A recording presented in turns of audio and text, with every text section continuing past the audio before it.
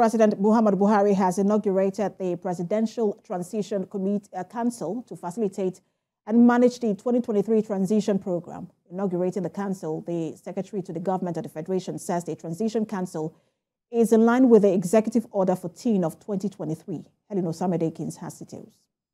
On the 7th of February 2023, President Muhammadu Buhari signed Executive Order Number 14 of 2023 on the facilitation and management of presidential transitions. The order provides the legal framework for a seamless transition of power from one administration to another. With less than four months in office, it is inaugurating the Presidential Transition Council through the Secretary to the Government of the Federation. The Council is charged with the responsibility of facilitating and managing the 2023 Presidential Transition Program. The Council will, among other things, facilitate the handover process by the current President to the President-elect, allow a fair and credible electoral process, and hand over the reins of power to the next President of Nigeria. In my capacity as chair of this council, I will do everything within my power to ensure we meet the expectations of Mr. President.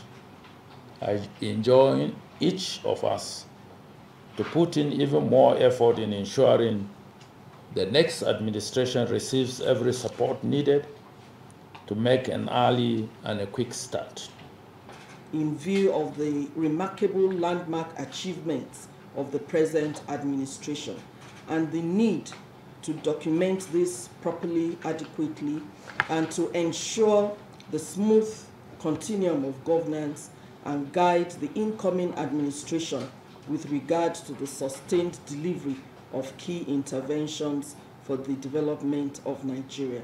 Members of the Council include Head of Civil Service of the Federation, National Security Advisor, Chief of Defense Staff, Inspector General of Police, Director General National Intelligence Agency, Director General State Security Services, Clerk of the National Assembly, Chief Registrar of the Supreme Court of Nigeria and the Secretary to the Government of the Federation, who doubles as the Chairman of the Council. These of this council will be presented to Mr. President in a weekly briefings by the Secretary to the Government of the Federation. And the President expects that the transition process will be replicated across state governments.